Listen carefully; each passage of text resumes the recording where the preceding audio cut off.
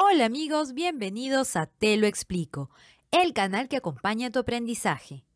El día de hoy hablaremos sobre la mayúscula inicial independiente de la puntuación para asuntos académicos, científicos, etc.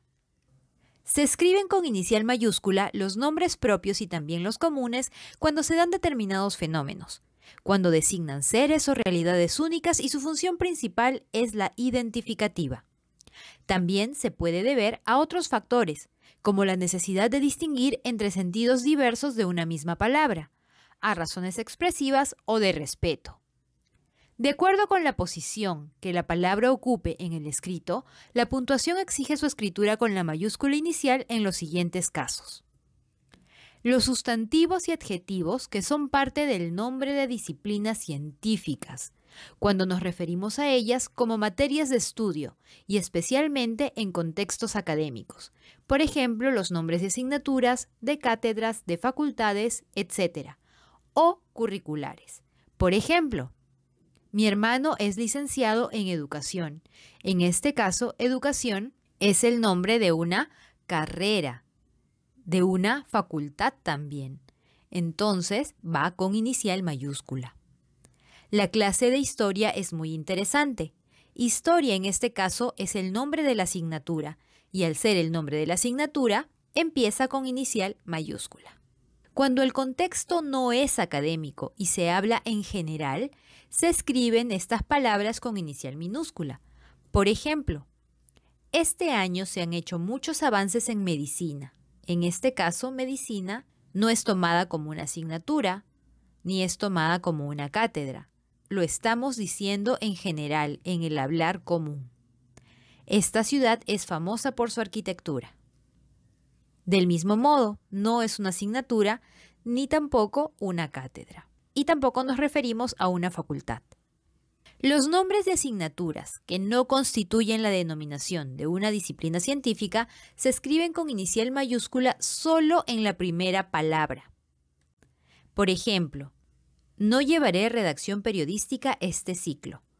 En este caso no es una disciplina científica, pero sí es una asignatura. Entonces la inicial mayúscula solo estará en la primera palabra, redacción, pero no en periodística. El profesor de introducción a la estadística es aburrido. Solo introducción lleva inicial mayúscula.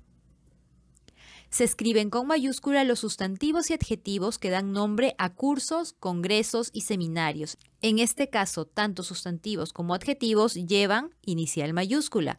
Por ejemplo, curso de redacción general. En estas tres palabras tenemos inicial mayúscula. Veinteavo Congreso Nacional de Psicología.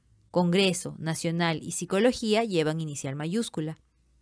Seminario de Metodología Científica. Seminario, Metodología y Científica están escritos con inicial mayúscula.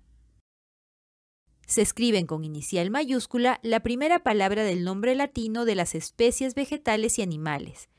Estos también deben llevar cursiva. Por ejemplo, Sirius vulgaris es la ardilla roja. Solamente la primera palabra tiene inicial mayúscula y está toda la frase en cursiva. Mangífera indica. Este es el nombre latino del mango. Y solo la primera palabra lleva inicial mayúscula y toda la frase está en cursiva. Se escriben con mayúscula los nombres de los grupos taxonómicos, zoológicos y botánicos, superiores al género, cuando se usan en aposición. Por ejemplo, orden roedores, familia leguminosas, pero se escriben con minúscula cuando se usan como adjetivos o como nombres comunes. Por ejemplo, en este caso, el cuy es un roedor. En este caso sí va en inicial minúscula, mientras que cuando lo usamos con la palabra orden, lo usamos con inicial mayúscula. Si decimos las leguminosas me dan dolor de estómago, en este caso estamos hablando de un sustantivo común, por lo tanto va en minúscula. Los nombres de edades y épocas históricas, cómputos cronológicos, acontecimientos históricos y movimientos religiosos, políticos o culturales se escriben con inicial mayúscula. Por ejemplo, la Edad Moderna, la Ilustración y la Segunda Guerra Mundial. Ambas palabras, en Edad Moderna, por ejemplo, tienen inicial mayúscula. En Segunda Guerra Mundial, del mismo modo, las tres palabras tienen inicial mayúscula. Se escriben con mayúscula los sustantivos que dan nombre a eras y periodos geológicos. Por ejemplo, el periodo Jurásico o la era Mesozoica.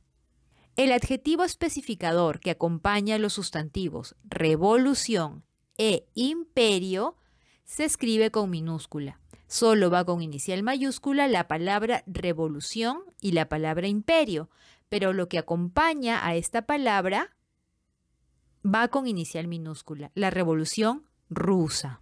Podría ser también la revolución francesa. El imperio romano. Romano inicial minúscula. Imperio inicial mayúscula. El imperio británico. El imperio español.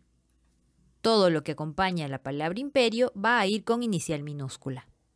Finalmente, determinados nombres comunes cuando se designan una sola de las realidades de su misma clase.